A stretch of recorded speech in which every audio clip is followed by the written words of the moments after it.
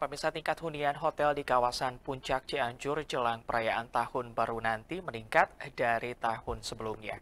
Kawasan Puncak kembali jadi destinasi favorit wisatawan luar daerah untuk merayakan pergantian tahun bersama keluarga.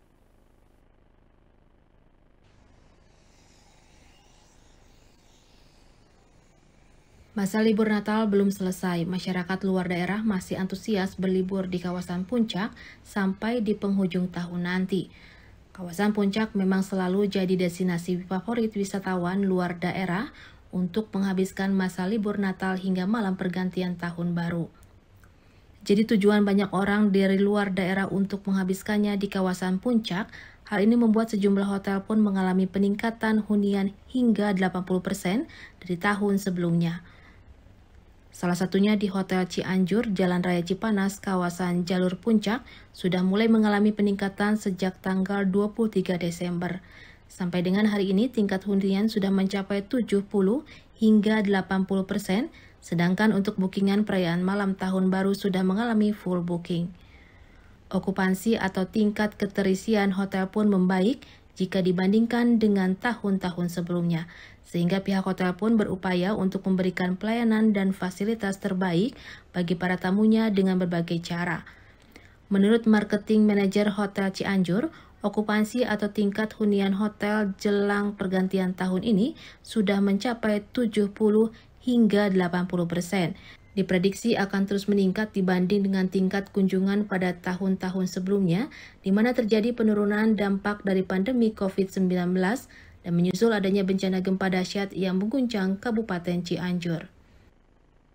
Ya, untuk tanggal dari mulai tanggal 23, sebenarnya itu udah bagus nih Pak ya. Dari 23 sampai tahun baru itu udah hampir uh, 80 sampai 100 persen ya, apalagi tanggal 25 sampai tanggal 31 nya. Kemudian kita bersyukur sih di tahun ini, karena sebelumnya kita kan mungkin ada gempa kemudian sebelumnya kita juga kena covid ini bersyukur di tahun ini eh, alhamdulillah kita yang di puncak ini relatif lebih baik gitu, mungkin sekarang Berdasarkan data dari Perhimpunan Hotel dan Restoran Indonesia Badan Pimpinan Cabang Cianjur, tingkatan kunjungan kawasan puncak pada perayaan Natal dan Tahun Baru di tahun ini kembali meningkat 20-30% dari tahun sebelumnya. Mengingat kawasan puncak jadi destinasi favorit wisatawan luar daerah, terlebih untuk merayakan malam pergantian tahun. Namun pada tahun sebelumnya dampak dari pandemi COVID-19 dan menyusul adanya gempa bumi sebanyak 15% persen hotel yang mengalami gulung tikar hingga berpindah tangan. Uh, ya, untuk hunian di daerah wilayah puncak panas ini sekitar 60-70 persenan untuk hunian memang kondisinya untuk saat ini sudah ada peningkatan, akan tetapi memang belum pulih 100% sejak pasca COVID dan gempa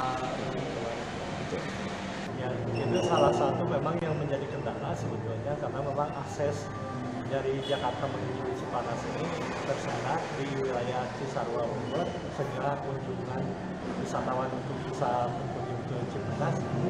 Agak terkendala. Heri Setiawan, Bandung TV